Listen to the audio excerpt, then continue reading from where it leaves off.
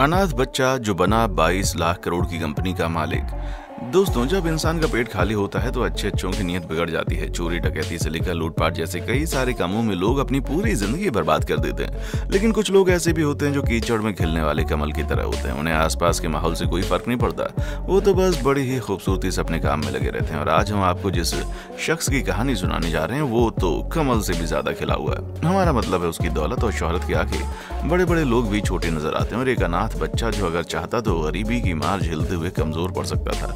लेकिन उसने मेहनत की और 22 लाख करोड़ की कंपनी खड़ी कर दी।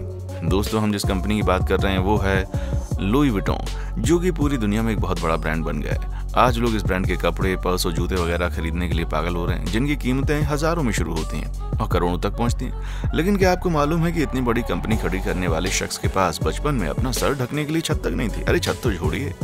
उसे ढंग से दो वक्त की रोटी तक नसीब नहीं होती थी।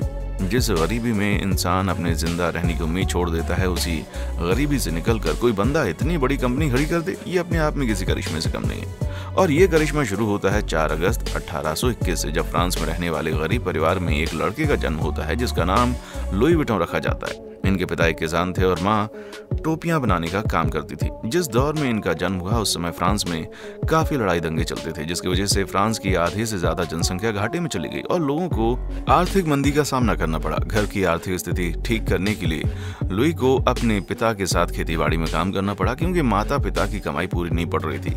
पर यह तो बस शुरुआत ही थी।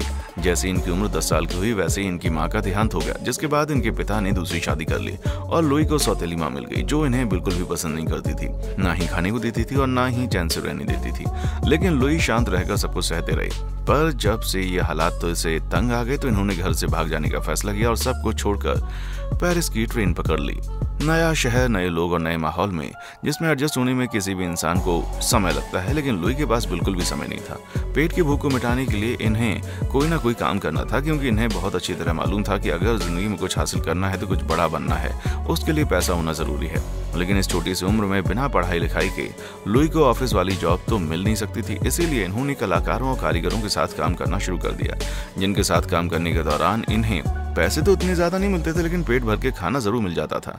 और लुई का मकसद केवल अपना पेट भरना नहीं था, बल्कि नई चीज़ें सीखना था, ताकि अपने हुनर का इस्तेमाल करके भी ये खूब पैसा कमा सकें। जिसकी वजह से कारीगरों के साथ काम करते करते लगातार उनके काम करने के तरीके को नोटिस करते थे, और कई बार तो उनसे काम लेकर खुद भी थोड़ा बहुत साफ़ साफ़ हाथ साफ़ कर लेते थे। ये वो वक्त था जब लुई बहुत ही गरीबी में जी रहे थे। अपनी शरीर पर ओढ़ी जाने वाली चादर को ही अपना घर समझकर सो रहे थे। उन दिनों फ्रांस में इंडस्ट्रियल रिवॉल्यूशन चल रहा था, लेकिन ट्रेन के अंदर सामान ले जाने में दिक्कत हो रही थी लोगों को। ज़ाहिर सी बात है, अगर दूर का सफ़र किया जाएगा तो अलग से रखे सामान बिखर जाएँगे और उनको नुकसान भी पहुँच सकता है। और इसी चीज़ का फ़ायदा कारीगरों को होने वाला था, इसीलिए उन्होंने बॉक्स बनाने शुरू कर दिए। लुई को भी लगा कि वो कुछ नया कर सकते हैं। इन्हें पहले से भी काफ़ी कारीगरी आती थी। लकड़ी से लेकर मेटल पत्थर तक हर तरह की चीज़ों को ये कोई भी आकार दे सकते थे। तलाश थी तो सिर्फ़ और सिर्फ़ मौके की और मॉन्शर मार्शल इनकी ज़िंदगी में बहुत बड़ा मौका बनकर आई, जिन्होंने लुई को अपनी दुकान में कारीगर के तौर पर नौकरी दे दी। इस नौकरी में कुछ खास पैसे तो नहीं मिलते थे, लेकिन हाँ आज लुई विटो इतना बड़ा ब्रांड बन गया तो उसकी सबसे बड़ी वजह इनकी नौकरी थी क्योंकि ज़िंदगी की सबसे बड़ी सीख इनको यहीं पर मिली, जहाँ इनकी किस्मत का सिक्का चमक गया और ये कई सारे क्लाइंट्स के सबसे फेवरेट बॉक्स मेकर यानी कि डिब्बा बनाने वाले बन गए। और जल्दी इतने मशहूर हो गए कि फ्रांस की महारानी ने अपना पर्सनल बॉक्स मेकर बना लिया, जहाँ ये महारानी के लिए अपने हाथों से बॉक्स बनाकर तैयार करते थे। लगभग एक साल तक महारानी के लिए काम करने के बाद इन्होंने अपनी खुद की दुकान खोलने का फैसला किया और यहीं से शुरुआत हुई लुई विटों की। उस वक्त लेदर के रेक्टेंगुलर बॉक्स बनाए जाते थे, जिसका ऊपरी हिस्सा ऊपर की तरफ़ थोड़ा उठा हुआ था, ताकि लेदर के ऊपर पानी ना पड़े। लेकिन इन बॉक्स की एक समस्या थी, इन्हें एक के ऊपर एक नहीं रख सकते थे, जिस वजह से काफ़ी जगह घेर लेते थे। यहीं पर कंपनी ने एक तरकीब सोची, जिसके बाद इन लोगों ने लेदर की जगह कैनवस का इस्तेमाल करना शुरू कर दिया, जो लेदर के मुकाबले सस्ता, सुंदर, टिकाऊ था। साथ ही साथ वाटर और हल्का भी था। इनका आइडिया काम कर गया और मार्केट में इन बॉक्स की डिमांड तेज़ी से बढ़ने लगी, क्योंकि इसका लुक भी बहुत ही शानदार था। दोस्तों, लुई के एक आइडिया ने पूरी इंडस्ट्री में तहलका मचा दिया और फिर इन्होंने बॉक्स से आगे बढ़कर हैंडबैग बनाने की सोची, क्योंकि उस वक्त हाथों में पकड़े जाने वाले बैग बिल्कुल भी अच्छे नहीं होते थे, जिन्हें संभालने में बहुत मुश्किलें आती थी। और इसी मुश्किल को काम करने के लिए लुई लगातार अपने प्रोडक्ट में बदलाव करते रहे। पर जब से लुई ने अपनी कंपनी में हैंडबैग बनाने की शुरुआत की, तब से लोग स्टाइल में हैंडबैग लेकर घूमने लगे, क्योंकि उनको पता था कि लोगों को कंफर्ट के साथ साथ स्टाइल भी चाहिए और ज़ाहिर सी बात है, इनके बैग कैनवस के होते थे, इसीलिए ये उनके ऊपर कुछ भी बना सकते थे। फिर क्या था?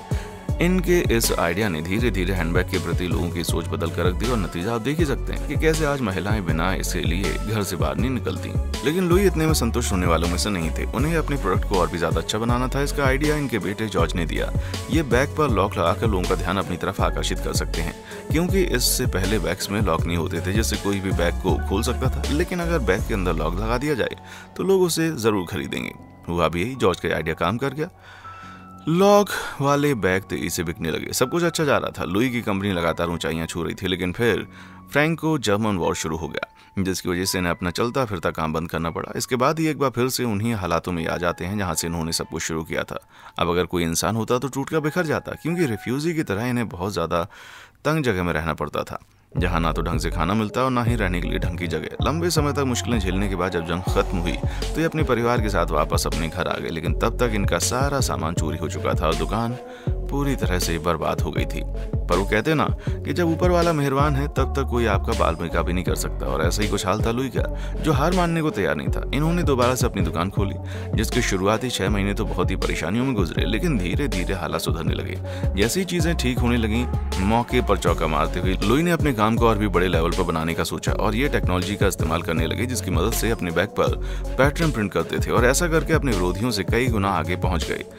इनके नए डिज़ाइन मार्केट में तहलका मचाने लगे, जिसकी वजह से इनके देश में तो इनका ब्रांड चल ही रहा था। साथ ही साथ विदेशों से भी इनको खूब सारे ऑर्डर्स आने लगे। कारोबार जब अच्छी तरह से फैल गया तो अपनी एक शॉप लंदन में इन्होंने खोली और धीरे धीरे पूरी दुनिया में अपना विस्तार करने लगे। इनका काम बहुत ही प्रीमियम क्वालिटी का रहता था, इसीलिए किसी भी साधारण इंसान के लिए इनके प्रोडक्ट खरीदना आसान नहीं था। परंतु इन्होंने कभी भी अपने प्रोडक्ट के दाम गिराने की कोशिश नहीं की और लगातार ऊंचाइयाँ छूते रहे। अपने प्रोडक्ट को लोगों की सबसे पहली पसंद बनाने के लिए इन्होंने कैटलॉग बनाना भी शुरू कर दिया, पर उसी वक्त इनकी मौत हो गई, जिसकी वजह अभी तक पता नहीं चली। और अपने पिता के गुजरने के बाद जॉर्ज ने ही पूरी कंपनी की बागडोर संभाली।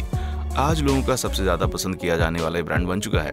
एक बात तो कहनी पड़ेगी, दो वक्त ये रोटी इकट्ठा करने में मुश्किलें देखने वाला लड़का इतनी बड़ी कंपनी खड़ी कर देगा, ये किसी ने सोचा नहीं था। अब आप इस पर क्या राय देना चाहते हैं? कमेंट बॉक्स में आकर बताएँ। उसी तरह की वीडियोस को देखते रहने के लिए चैनल को लाइक, शेयर और सब्सक्राइब ज़रूर करें। देखने के लिए शुक्रिया। दोस्तों, आपकी स्क्रीन पे दो और वीडियोस दिख रही हैं, जिसे देखने के लिए आप इस स्क्रीन पर क्लिक करें। दोनों देखिएगा, बहुत अच्छी वीडियो बनी है।